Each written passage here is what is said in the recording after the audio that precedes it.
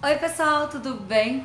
É, hoje, eu vou gravar um, hoje eu vou gravar um vídeo de respondendo uma tag que a minha amiga Vanita me tagueou. Tem um tempo que ela me tagueou, eu já tinha gravado esse vídeo, mas infelizmente, amiga, esse vídeo sumiu do meu celular. Eu tive que gravar de novo. Quando eu fui procurar pra editar, cadê o vídeo? Mas eu vou responder hoje, tá? De desculpa a demora. Mas eu não tinha esquecido, é porque eu tava sem tempo mesmo. Aí hoje eu tô aproveitando que eu tô gravando uns videozinhos, três vídeos hoje. Aí eu já aproveitei para gravar ele novamente. É, essa tag é feita pela Jaque Bandeira, uma outra amigona, beijo amiga. É, e o nome da tag é Sua Visão de Festa. Eu tô aqui com o celular do marido, eu tô lendo, tá? Porque ela me mandou pelo WhatsApp as perguntinhas, então eu tô lendo aqui. É, a primeira pergunta Quantas festas já fez? Hum, gente, eu já fiz várias festas. Já fiz quatro do Miguel, né? É, antes do Miguel, eu tenho uma sobrinha que é hoje ela tem nove anos. A gente fez as festinhas dela também até cinco aninhos, né? Eu ajudava os pais dela a fazer festinha. Aí sempre eu decorava, assim, metia a mão na massa. Naquela época não tinha personalizados essas coisas, mas Ficou bem bonita a festinha dela de um aninho, então ficou muito linda. Foi da Belinha e eu decorei, fiz os doces, fiz tudo. Na época não tinha canal pra mostrar e não tinha esse, muitos negócios de filmar essas coisas. Mas eu fiz as dela, a do Miguel. É, já fiz festinha pra mim também, a gente já fez festinha pra minha avó. Aí já fiz muitas festas, gente. Eu não sei se, mas eu acho que foi mais de 10, tá bom?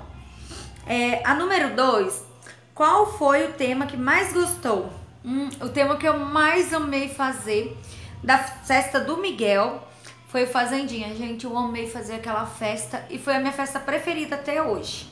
Foi a que eu menos gastei, a mais simples, que foi aqui no quintal de casa, que eu não gastei com decoração, foi eu que decorei, peguei pallet, é, caixote de feira e foi a festa que eu mais gostei, foi a que eu mais amei até hoje. Ela ficou muito linda, cheia de detalhes. É, número 3.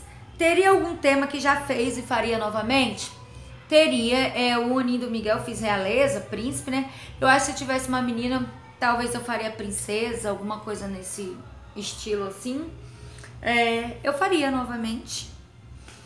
Mas não, não digo se eu tiver uma menina eu vou fazer, que não passa na minha cabeça. Mas talvez eu faria, que é uma, um tema que dava pra menina e pra menina, né? Agora, se eu tivesse um outro menino, eu acho que eu não faria nenhum tema que eu fiz pro Miguel, não eu queria fazer coisas diferentes.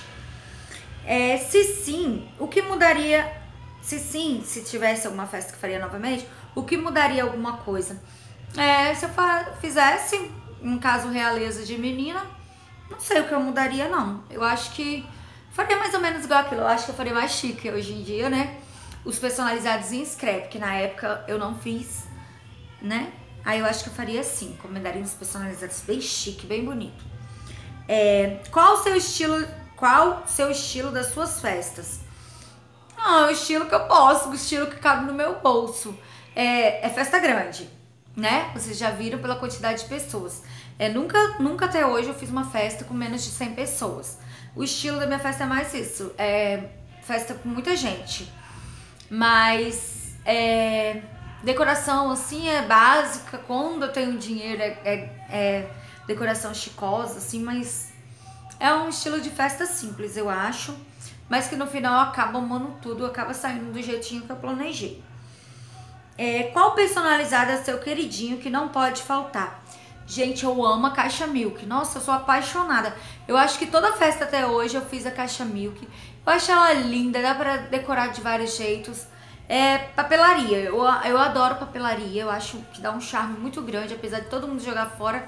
Mas eu acho lindo que o que vale é as fotos ali, ficar na mesa para tirar as fotos e guardar de recordação. E o meu queridinho é a caixa milk. Eu acho linda a caixa milk. É... Qual o seu acrílico preferido? Eu não tenho um acrílico preferido, não. É, tanto faz. Mas eu acho que sempre usa a caixinha é, acrílica, né? 5x5. Eu acho que ela sempre encaixa em todas as decorações tem muita forma de decorar. Então acho que ela acaba sendo o acrílico preferido. É, qual acrílico para você não para você não faz questão de ter na festa? O tubete. Eu acho um, um, Um personalizado eu sempre coloquei. Todos os aniversários eu coloquei, mas é um personalizado que não faz falta, na minha opinião. Tem muitas formas de decorar, tem, mas é uma coisa que eu acho assim, se não tiver, passa batido. É, você usa aviamentos nos seus personalizados? Uso. É, eu usava muito pouco até o ano passado, porque eu tinha muito receio por ser menino. Eu tinha muito medo e ficava com medo de ser brega também, de ficar muito brega e tal. Só que vendo os vídeos da Vani, ela usa muito aviamento, gente, ela deixa as coisas muito lindas. Então eu comecei a usar, tô aprendendo um pouquinho com ela. Claro que eu tenho que melhorar muito, né? Porque o meu fica feio, porque eu não tenho a paciência de colar com a cola que ela cola. Porque, ah, aquela cola demora muito e eu prefiro colocar cola quente, que eu acho mais rápido. E eu tô usando também fita dupla face, que a minha amiga Marcela me deu a dica. Mas eu uso sim aviamentos, tá? Se, se sim, qual a fita paixão? Se eu uso aviamento e qual a fita paixão? Ah, gente, a fita gorgurão eu acho ela muito bonita. Eu usei todas que eu uso aviamento assim. Eu usei a fita gorgurão, que ela dá um detalhe bem bonito. É, mas assim, não é a minha fita paixão. Nessa do Miguel agora, de 4 anos, eu tô usando uma fita verde que tá sendo a minha paixão. É aquela detalhada assim que eu comprei na Infoléu, que eu já mostrei pra vocês. É, aquela fita tá sendo a minha paixão dessa festa, que aquela fita é muito linda. É, tem alguma fita que acha difícil de trabalhar?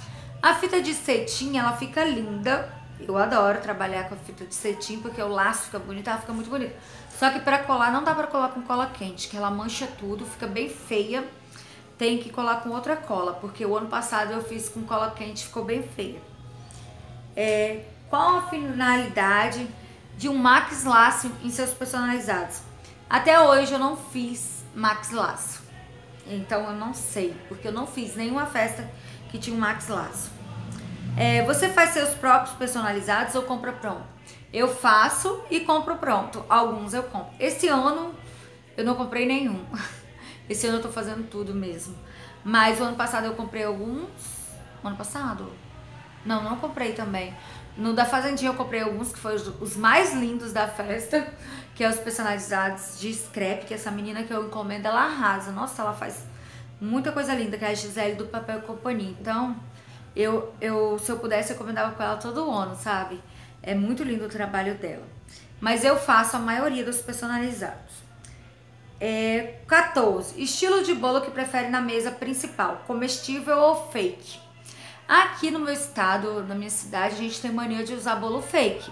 É, é moda, né? É moda usar bolo fake, até porque se encomendar um bolo desses detalhados, bonito, fica muito caro, é mais de 300 reais um bolo assim. Mas eu sempre usei bolo fake do Miguel. Topo de bolo ou só uma velhinha mesmo? Ah, eu acho lindo o topo de bolo, gente. Eu sou apaixonada, eu acho que dá um charme no bolo. Eu prefiro o topo de bolo, se puder. Mas já usei vela também, tá? É... A número 16. Festa com horário para começar e terminar, funciona? Funciona. A de Morinho do Miguel é... foi de 7 às 11 e deu 10 e meia, já tava todo mundo querendo ir embora, eu tive que cantar parabéns correndo, 10 horas. Eu acho que nem era 10 horas, teve que cantar parabéns, que já tinha gente querendo ir embora.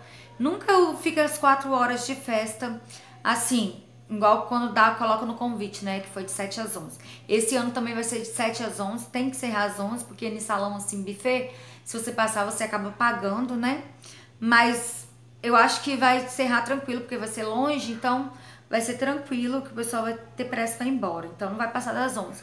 Mas claro que sem horário é muito melhor. Igual do ano passado a gente foi sair de lá mais de meia-noite do salão. Foi muito legal. Os convidados foram embora, mas a gente ficou, a família arrumando, tudo legal assim. É bem legal isso. E eu, eu prefiro sem um horário para terminar, para começar e terminar. Para começar tem que marcar, né?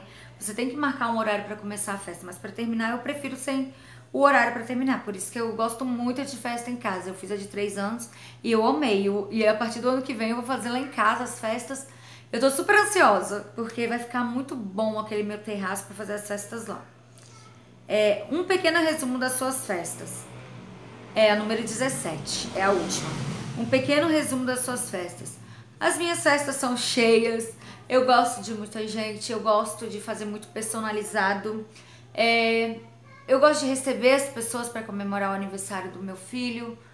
mais um ano de vida dele. E eu amo fazer festa pra ele, eu amo fazer festa. O negócio é esse. É, e pra ele, então, é melhor ainda. É, minhas festas são feitas com muito amor, muito carinho pra ele.